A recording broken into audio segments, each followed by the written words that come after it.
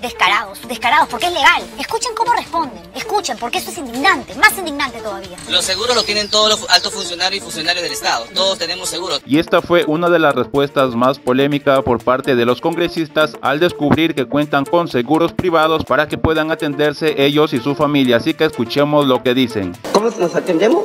Tenemos un seguro médico como cualquier trabajador, ¿no? Trabajador, podemos acudir al seguro social o bien también hay seguros privados que lo atienden, como todas las empresas. Para precisarle, ¿este seguro de salud lo provee el propio Congreso, lo paga el Congreso o lo paga usted como parte de su sueldo? Lo que dice el congresista es que ellos pueden atenderse en un seguro como un trabajador lo hace en cualquier tipo de empresa, ya que ese seguro lo paga el Congreso con los descuentos que les hacen a ellos. Lo paga el Congreso y con cientos descuentos que nos hacen a nosotros también. Acuérdense que nosotros somos de una de las entidades que tienen el mayor descuento por AFP, CTS, seguro. Nosotros tenemos un gran descuento, ¿no?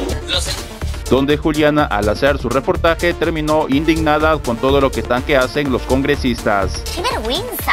Somos los que más descuento tenemos para lo que ganan y lo poco que hacen. Y no hablan de los beneficios, por ejemplo, de los gastos de representación, porque hay una norma y un reglamento que se tiene que cumplir. Tú viajas y como parlamentario te corresponden 2.800 soles. Pero tú cuando regresas de viaje tienes que, obviamente, mostrar las boletas, los recibos, que justifiquen qué es lo que hiciste el tiempo en que estuviste en tu provincia, en tu región, a favor del Congreso, al favor del Parlamento que representas. Y hay gente que desde noviembre, enero, no presenta un solo documento Carlos Viguria va, los busca y la respuesta que algunos les dan es, sí, mis asesores están trabajando en ello, pero si eso demora. Gracias por hacerme acordar, sí, no lo presentamos. ¿En qué están ocupados? Si ni siquiera les importa, les interesa adelantar las elecciones. ¿Qué proyecto de ley tan trascendental es en el que están trabajando que no tienen tiempo siquiera de olfatear, entender, tener un poco de sensibilidad, sensatez para realmente darse cuenta de lo que están haciendo? Esta noche hablamos largo y tendido de este tema, de los gastos de representación, del seguro privado. No se imaginan toda la información que tenemos. Les vamos a contar todas las clínicas a las que pueden acceder estos padres de la patria y la miseria que pagan mientras vemos mujeres embarazadas a las que mandan de regreso a su casa cuando ya están con 7, 8 de dilatación porque tienen que, obviamente, en un hospital atender a otras parturientas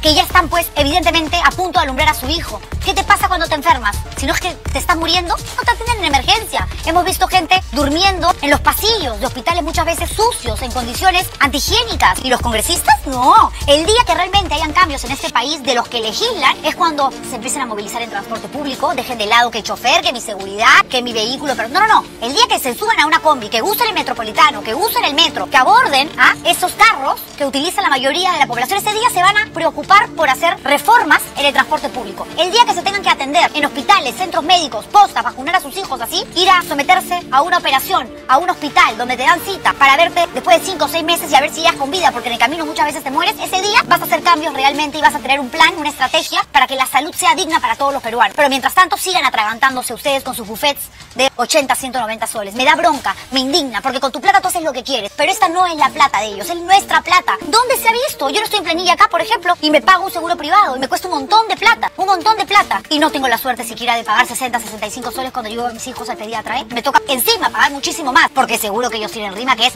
top de los top de los top. No olvides de suscribirte al canal para que no te pierdas cuando se suba un próximo video.